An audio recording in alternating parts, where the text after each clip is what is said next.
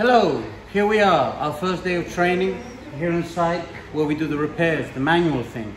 So, as you see, we have all our pupils inside. That is David Navarro, the other instructor. So right now, we're getting ready for doing a lamination, a sandwich panel. So everybody's getting ready, everybody's starting getting the things done. We've got all the five pieces of glasses done. David Navarro is giving the last instructions, and now we're going to proceed with the lamination, a, pan a panel sandwich. Thank you.